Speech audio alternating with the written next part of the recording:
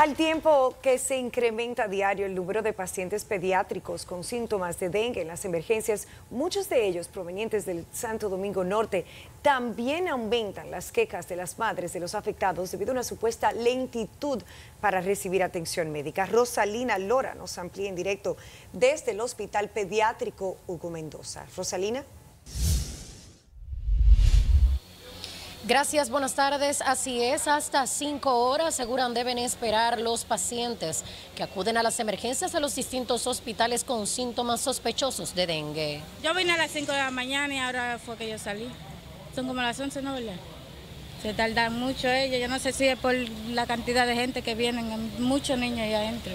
Tanto en el Hospital Pediátrico Robert Reed Cabral y el Hugo Mendoza, las madres expresaron su preocupación de que sus hijos son despachados a sus casas, pese a tener las analíticas que indican que tienen el virus. Y ellos me dicen que no, que me vaya para la casa, que le dé pedialitis, que le dé acetaminofén, eso, pero que no me lo van a internar. ¿Qué están esperando? ¿Que se me muera el niño? ¿O que me le dé, que comience a sangrar? Un caso de una señora que vino de la romana con sus dos niñas y la abuela. Y trajeron analística de dengue esas personas que vienen de tan lejos deben como priorizarla, atenderlas primero. En el Hospital Pediátrico Robert Reed Cabral hay 50 pacientes ingresados con dengue.